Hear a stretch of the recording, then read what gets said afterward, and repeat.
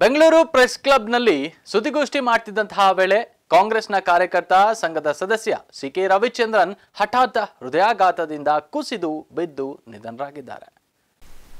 ಕರ್ನಾಟಕ ರಾಜ್ಯ ಹಿಂದುಳಿದ ವರ್ಗಗಳ ಮತ್ತು ಅಲ್ಪಸಂಖ್ಯಾತರ ಸಂಘದ ವತಿಯಿಂದ ಮುಖ್ಯಮಂತ್ರಿ ಸಿದ್ದರಾಮಯ್ಯ ಅವರ ಪ್ರಾಸಿಕ್ಯೂಷನ್ಗೆ ರಾಜ್ಯಪಾಲರು ಆದೇಶ ನೀಡಿರುವುದನ್ನು ವಿರೋಧಿಸಿ ಬೆಂಗಳೂರು ಪ್ರೆಸ್ ಕ್ಲಬ್ನಲ್ಲಿ ಸುದ್ದಿಗೋಷ್ಠಿ ಮಾಡ್ತಿದ್ದ ವೇಳೆ ಸಿಕೆ ರವಿಚಂದ್ರನ್ ಹಠಾತ್ ಹೃದಯಾಘಾತದಿಂದ ಕುಸಿದು ಬಿದ್ದಿದ್ದಾರೆ.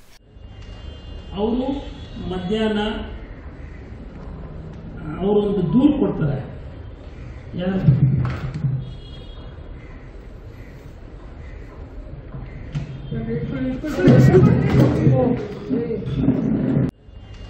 ಅವರು ಮಧ್ಯಾಹ್ನ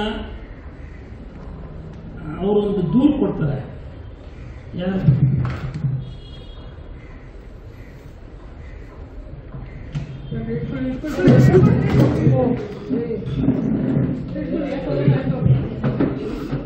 ತಕ್ಷಣವೇ ಹತ್ತಿರದ ಕನ್ನಿಂಗ್ ಹ್ಯಾಮ್ ರಸ್ತೆಯಲ್ಲಿರುವ ಪೋರ್ಟಿಸ್ ಆಸ್ಪತ್ರೆಗೆ ಕಳುಹಿಸಿದರೂ ಸಹ ಚಿಕಿತ್ಸೆ ಫಲಕಾರಿಯಾಗದೆ ನಿಧನರಾಗಿದ್ದಾರೆ.